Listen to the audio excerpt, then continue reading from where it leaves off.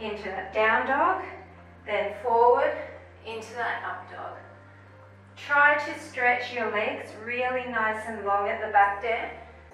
Knees up, down. Keep going, a few more like this.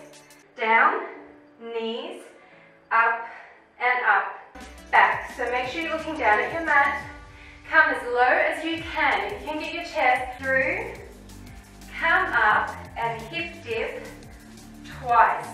Back and back. Keep the top portion of your arm in by your body. Three, two, one. Bring it down for a second.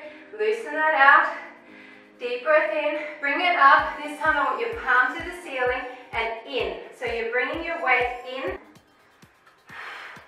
and you're pushing away from the floor. Back to center. One, two, three, four. It's out, across, out, back, and bringing your arms up at the same time. Facing each other. Keep breathing for eight. Rolling those elbows behind you, forward, little ones, by the side. So start with me now. Try to lean back as far as you can to engage those abs. Hold in your core to stabilize here.